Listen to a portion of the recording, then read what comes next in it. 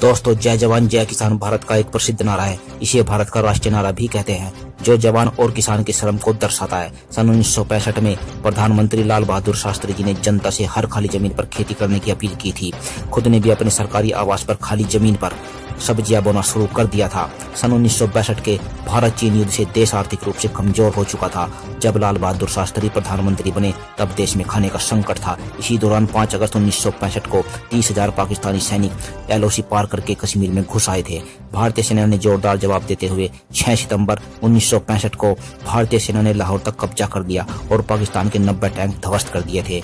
यह वह दौर था जब हम अमेरिका से P L four eight zero scheme के तहत हासिल लाल गेहूँ खाने को बाध्य थे। इसी बीच अमेरिका के राष्ट्रपति लिंडन जॉनसन ने शास्त्री जी को धमकी दी थी, अगर युद्ध नहीं रुका तो गेहूँ का निर्यात बंद कर दिया जाएगा। लेकिन शास्त्री जी ने जवाब में बिना किसी डर के अमेरिका से गेहूँ लेने से साफ़ इनकार कर दिया था। अक्टूबर सन उन्नीस में दशहरे के दिन दिल्ली के रामलीला मैदान में लाल बहादुर शास्त्री जी ने पहली बार जय जवान, जय किसान का नारा दिया था, जिसका अनुसरण आज हम बड़े ही गर्व से करते आ रहे हैं।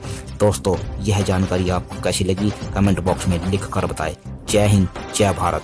फिर मिलेंगे अगली वीडियो में।